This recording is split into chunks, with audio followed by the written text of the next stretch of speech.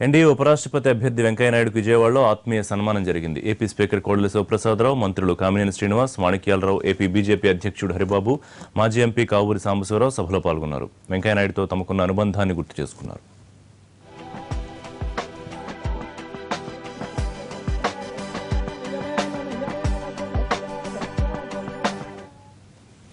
ఎవరో కుట్ర చేసి తనను కేంద్ర మంత్రిగా తప్పించారన్న ప్రచారంలో వాస్తవం లేదన్నారు వెంకయ్య. ఎవరో ఏదో అనుకుంటే బీజేపీలో జరగదని తనెవరికి పోటీ కాదని వెంకయ్య స్పష్టం చేశారు.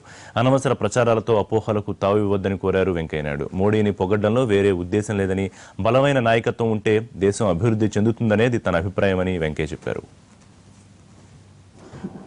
రాజకీయంలో ఎవరో ఏదో చేస్తే జరగదు. ఆ రోజులు పోయినాయి. పైపించి బీజేపీ అసలు జరగదు.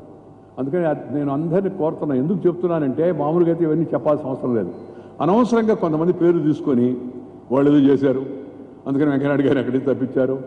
లేదు వెంకయ్యనాయుడు గారు రెండు వేల పంతొమ్మిదికి పోటీదారుడు కాబోతున్నాడు. ఎవరికి పోటీ?